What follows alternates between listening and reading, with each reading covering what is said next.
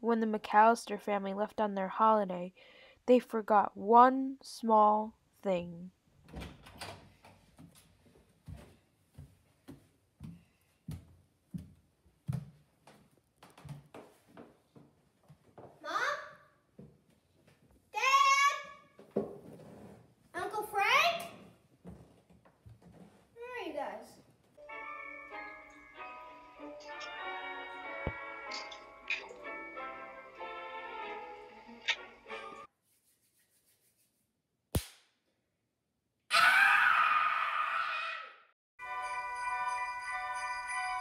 How are we gonna get in?